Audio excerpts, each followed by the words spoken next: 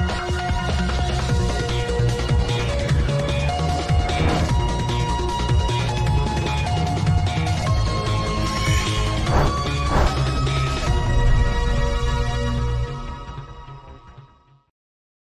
Halo teman-teman milenial, masih bersama Mata Dialog bersama saya Amel dan juga saya sudah masih ditemani oleh teman-teman dari mahasiswa ada Hakim, Novan dan juga Fauzan.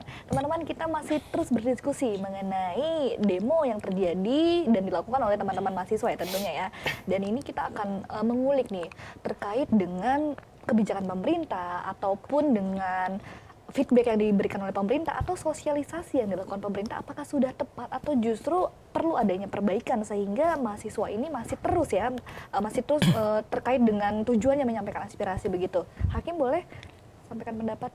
Uh, saya pikir bahwasanya uh, dari pemerintah sendiri uh, kurangnya sosialisasi terhadap mahasiswa. Kurangnya sosialisasi. Iya, mungkin dari pemerintah alangkah baiknya uh, sebelum uh, revisi undang-undang itu di disahkan atau dibahas, alangkah baiknya turun ke kampus-kampus okay. untuk melakukan uh, uh, apa namanya uh, sosialisasi agar teman-teman mahasiswa pun paham sehingga uh, saya sungguh yakin dan percaya kalau memang dari pihak pemerintah melakukan sosialisasi maka tidak ada yang namanya aksi unjuk rasa untuk menolakkan hal tersebut. Tetapi karena kurangnya sosialisasi sehingga tiba-tiba saja timbul di DPR bahwasanya ini sudah disahkan, ini sudah disahkan uh, menimbul, menimbulkan kemarahan dari mahasiswa sehingga uh, lagi-lagi uh, mahasiswa turun menggelar aksi unjuk rasa seperti itu mbak. Oke berarti memang aksi sosialisasi pemerintah itu harus iya. harus dimaksimalkan ya dan ini bisa menjadi langkah pencegahan unjuk rasa iya. begitu ya. Oke terima kasih Hakim. Selanjutnya Novan silakan memberikan pendapatnya. Ya kalau untuk pemerintah sendiri sih terkait sosialisasi ki itu mungkin udah ada tapi cuman belum sampai aja ke berbagai kampus. Okay. Paling hanya kampus-kampus pilihan saja untuk apa namanya sosialisasi terkait program-program pemerintahan seperti itu. Tapi menurut saya sih sosialisasi terkait apa namanya revisi undang-undang KPK maupun revisi KUHP itu jelas kurang apa ya kurang tajam menurut saya untuk turun ke masyarakat menurut saya sih DPR itu diam-diam untuk mengesahkan itu. Okay. Seperti itu. Berarti memang menurut Novan sudah ada sosialisasi tapi tidak merata begitu nah, ya. Iya. Oke dan perlu adanya pemerataan ya, Betul. ya untuk jauh lebih maksimal melakukan sosialisasi. Oke, terkait dengan hal ini Fauzan silakan berikan pendapatnya. Kalau dari saya selain mungkin sosialisasi itu dilakukan di mahasiswa, mungkin juga terlebih dahulu dilakukan di kalangan masyarakat ya. Soalnya kan implementasi mahasiswa terhadap mungkin uh, suara-suara uh, daripada masyarakat yang apa mahasiswa ini kan sebagai penyambung lidah rakyat terhadap di Dewan Perwakilan Rakyat dan sebagainya.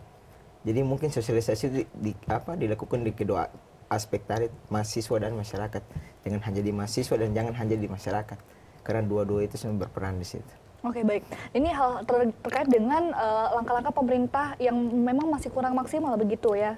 Tapi berkaitan dengan demo yang terjadi, dengan teman-teman yang ada di lapangan, mungkin teman-teman yang masih belum tahu bisa diberikan informasi bagaimana di lapangan tersebut ter, apakah terjadi komunikasi dua arah begitu ataukah terjadi interaksi antara pendemo dengan pemerintah? Silakan, Hakim. Uh, kalau di lapangan uh, kita kan aksi pertama kan udah ditemuin ada beberapa teman-teman perwakilan masuk ke dalam untuk melakukan audiensi. Uh, tapi lagi-lagi uh, hasil audiensi audiensinya tidak sesuai dengan apa yang mahasiswa harapkan. Okay. Artinya bahwa percuma saja kita melakukan audiensi sementara apa yang kita sampaikan tidak uh, dijalankan uh, sehingga timbullah aksi berikutnya aksi kedua. Aksi kedua pun seperti itu dijadikan untuk audiensi lagi dan teman-teman juga uh, ada yang mengatakan bahwa nggak usah kita audiensi lagi karena ujung-ujungnya juga tetap kita ditolak kok. Makanya timbul lagi gerakan ketiga seperti itu, Mbak. Oke, berarti terkait dengan interaksi yang juga tidak lancar begitu ya iya. terjadi gerakan-gerakan selanjutnya ya begitu ya oke terima kasih Hakim bagaimana dengan Novan ya kurang lebih seperti itu ya kayak ya. terkait apa namanya aksi kemarin sudah ada yang komunikasi ke dalam untuk audiensi. Cuman yang diterima itu kalau nggak salah sekjen. Oke. Okay. cuman sekjen kan janjiin untuk kita ketemu langsung sama komisi 3 sama DPR itu uh, paling lambat tanggal 24 sampai kita hari Senin aksi itu malah kita nggak ketemu bahkan okay. sampai hari Selasa. Walaupun ada, ada sudah ada komunikasi tapi telat menurut saya karena itu udah terlalu sore untuk untuk mereka terima. Bahkan sempat disayangkan Bang Fahri Hamzah sendiri bilang kepada kawan saya Wapres Trisakti yang namanya Dimas dia bilang tidak ada tidak ada yang memberitahu terkait audiensi mahasiswa berarti Pak Sekjen dong yang tidak apa namanya yang tidak mengkon- yang tidak mengkomunikasikan itu terkait apa yang kita apa namanya yang kita mau untuk audiensi seperti itu. Jadi menurut saya pecat aja itu Pak Sekjen. Gak, gak pantas ada di situ. Terima kasih atas pendapatnya Iya. Novan. Selanjutnya Fauzan bagaimana perspektifnya? Kalau dari saya mungkin dari hasil-hasil audiensi dari beberapa perwakilan dari mahasiswa yang udah masuk di gedung DPR itu mungkin hasilnya masih normatif, gak ada solusi sampai sekarang kan. Dan mungkin juga sepakat dengan Bang Bang Novan bahwasanya mungkin pada saat hari Senin apa Selasa itu ketika di audiensi ketemunya perwakilan mahasiswa dengan sekjen bukan dengan apa ba- apa DPR sendiri.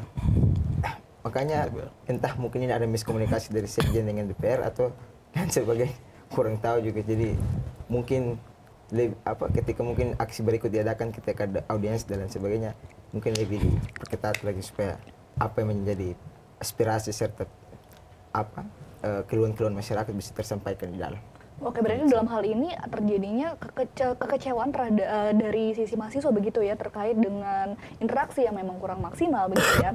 Oke, lalu selanjutnya terkait dengan aksi-aksi yang akan terjadi atau bahkan rencana yang akan direalisasikan ini bagaimana? Apakah ada aksi lanjutan terkait nanti dengan adanya hasil yang diberikan oleh pemerintah? Bagaimana dengan komandan? Kalau terkait dengan aksi lanjutan, uh, saat ini kita melakukan masih melakukan tahap konsolidasi.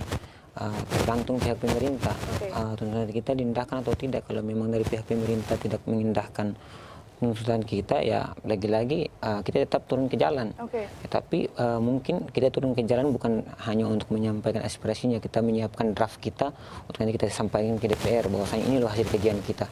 Seperti itu, Mbak. Oke, berarti memang akan ada aksi ketika hasilnya tersebut tidak sesuai dengan harapan yang diinginkan begitu ya dan tidak hanya melakukan aksi namun juga membawa draft seperti yang sudah teman-teman kaji begitu ya. Oke, selanjutnya mungkin teman-teman bisa masing-masing memberikan eh, harapannya tentunya untuk teman-teman mahasiswa sendiri dan tentunya untuk bang- bangsa Indonesia. Mungkin boleh dimulai dari komandan Hakim.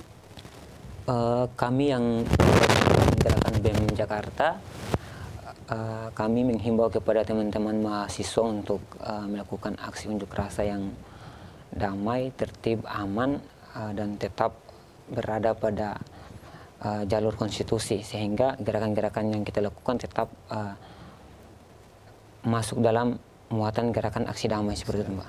Oke, terima kasih Hakim atas harapannya. Selanjutnya Novan silakan. Kalau untuk harapan saya sih gerakan BEM Jakarta tentunya menolak gerakan anarkisme yang yang terjadi jikalau kita sampai turun aksi. Intinya gerakan BEM Jakarta menolak tindak anarkis.